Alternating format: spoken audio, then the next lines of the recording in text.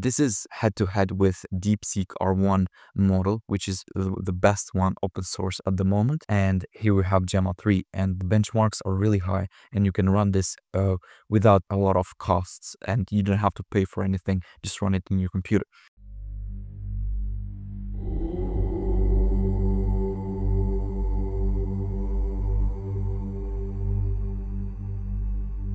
In this video, we'll install Gemma 3, which is the latest version of Gemma family uh, AI models.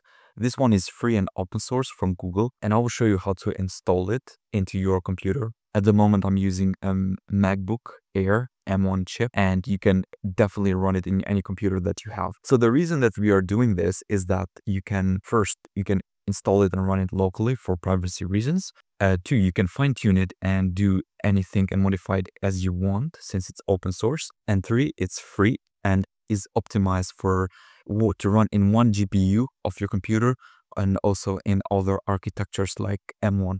And we'll do this using very easily. We'll install it from Ollama and also I'll show you how to run it and create an AI agent using n8n, which is a, a platform that can create AI agents and run automations in your, your computer. So let's go ahead and do that. So to do that, we'll do we'll use uh, Ollama and go to the link in the description to visit Ollama. And here is the Gemma 3 website. And here you can choose many models that you have.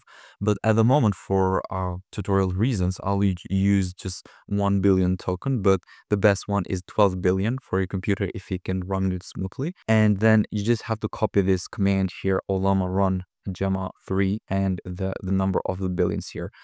And first you have to download Ollama. So in this website, you can see we have a download button. So go ahead and download. If as soon as you click download for macOS, you just have to install it just like you usually install an application onto your MacBook. But I have already installed it and, and here up the screen, we have an, an icon for Ollama that is rank. And then you just have to open terminal into your computer and you will see here that uh, you can run an Ollama command. And Ollama and you can type list to list all of your models. At the moment, uh, I have these models, but for you, it might be shows uh, empty. And to install a new model, you just have to paste the command that you just copied. Ollama run and choose the token that you want. At the moment, I have 1B. I want to run 1B, and but you can just uh, run any model that you want. There are all other models too that you can just directly use here. But uh, let's run this 1B and as soon as this, uh, you press it run, it will show you here to run Ollama and Gemma 3 model. So if I test it here, just type hello, it will show that uh, I do uh, with an answer. So now how to run it and create an AI agent using n8n. So go to browser and search for n8n and we'll use this platform. So to do that, we'll install Docker to install this, this as a container. And to install Docker, just go to Google and search for Docker and Docker download and make sure to download it for your MacBook. I have already downloaded, so uh, I, I assuming that you know how to download it and how to run it. So just open Docker and here we have Docker. So what you have to do is to install and inside a Docker container. Container is just an, an image where or uh, um, a storage where uh, everything is placed for n8n.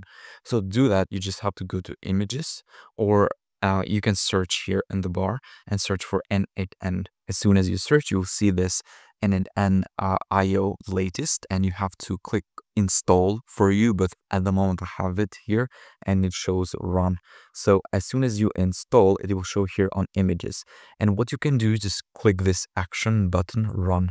So just click on run and this will start this and workflow locally into your computer. If you can't run it in images, just go to containers because it will create a new container. And if it asks, so if you have a problem that you cannot open it after it is running, and you have to make sure to put in the ports this number 5678 and then it should run the container in this port because this is a port where n8n can run. And then you just click on run here and it will start the machine. And then you can click on this link localhost or you can just go to your localhost and here it will show you to uh, create a a, a, new credentials, create a new account.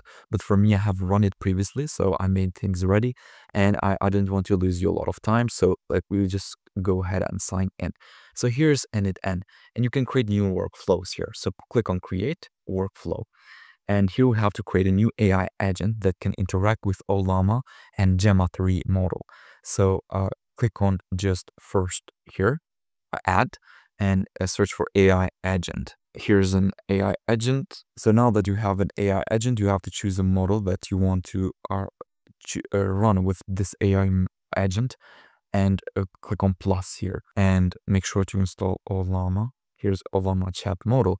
And to run Ollama, you have to choose the credentials. So create new credential and the credentials needs to be the local host and where the Ollama is running. So usually it runs on this port here, but uh, if you try to save it, it won't work. This is the reason that is not working is because uh, n8n is running in a closed container in Docker and it does not have access to to our computer and machine. And to fix this issue, you have to replace localhost with this host.docker.internal. This makes it possible to access localhost on our computer from this uh, container of um, of Docker. So as soon as you put that, you just click on retry and you'll see with green that is successfully.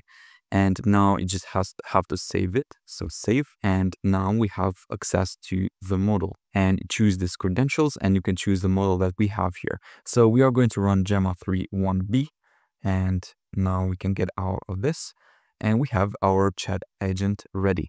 But another thing that we can do is that we can create a memory. And to create a memory just put a windows buffer memory. This should save the memory of what you have chatted with the ai before and now we can click on chat and this will open chat box and we'll just have to test it.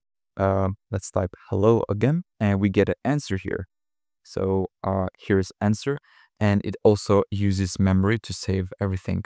And now we can uh, just uh, type, for example, my name is top notch. And now that I asked what is my name, it is uh, going to give me an answer uh, top notch that I, I just gave it before because it has a memory and on this way it is going to remember and run it again. If you make it possible to run a huger model, the best model is at, at least 12B to run it locally into your computer if it's possible, but you need a better graphic card or a, a better chip for your um, netbook. So that's why I'm just running this for the tutorial purpose. So this was a video for today. I hope you like it and uh, we'll build a lot of more videos with AI agents and automation, how to build a lot of things with automation, automate build processes that you do in your daily life. And in this way, you can achieve a lot more than you usually do. So that is for today. See you in the next one.